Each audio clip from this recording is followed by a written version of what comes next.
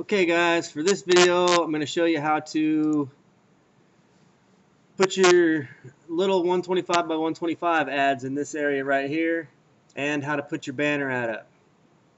So first let's do the little little ads down here. Um, I'm going to go back into your back office.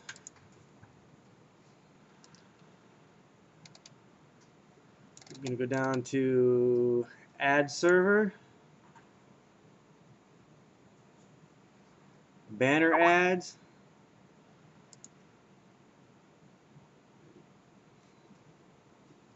Make sure these settings are all in. Zones enabled. Zone 1 zone 1 zone enabled.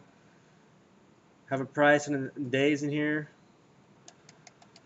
125 by 125 two columns three rows. 1 0 20 and then the default image in here is the picture that says your free ad or purchase your ad here. Update, make sure you update those settings. Come down here, number of ads to display.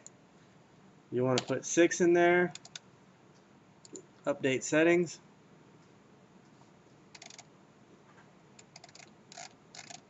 Now you got six, one, two, three, four, five, six spots to put ads in. So now on our front page, we should have that. Let's see, now we want to add that to our front page, so we got to go to widgets. And you want to add it to the top here, where it says sidebar top. Hit this little drop down arrow. That's the OIO publisher published banner zone. Click it, drag it over set it into place, hit save, close it, close it. Now go to your site, and you see we got the banners up here. Now to actually physically place your own ad in these, I'll show you how to do that now. Back in your back office, back to the ad server. Back to banner ad code. Scroll down and see. We'll put an ad for ad number one. So I need to go get an ad.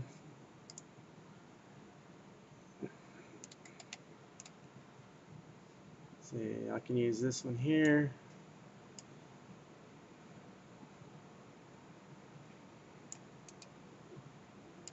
See, I'm using this one because see the size, 125 by 125. That's the size of these little ads.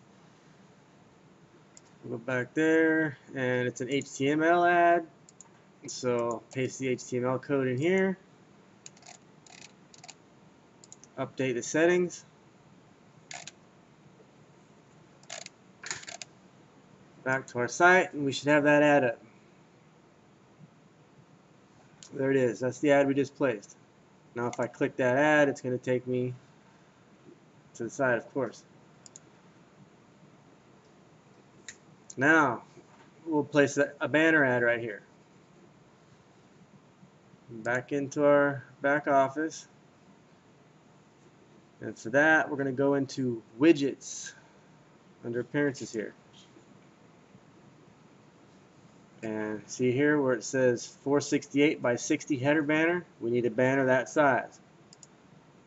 I've already found one, so we'll get that in a second. Um, you need to drag a text box over, place it in there, it opens up. Now I'm going to get my ad that I have saved.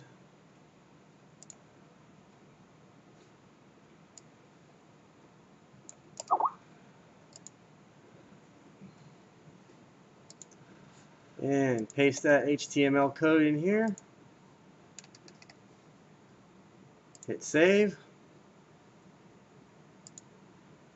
Close your boxes. Visit your site. And we got a banner up here.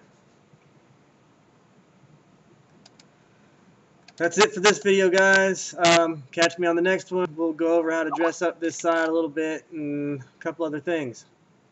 Thanks.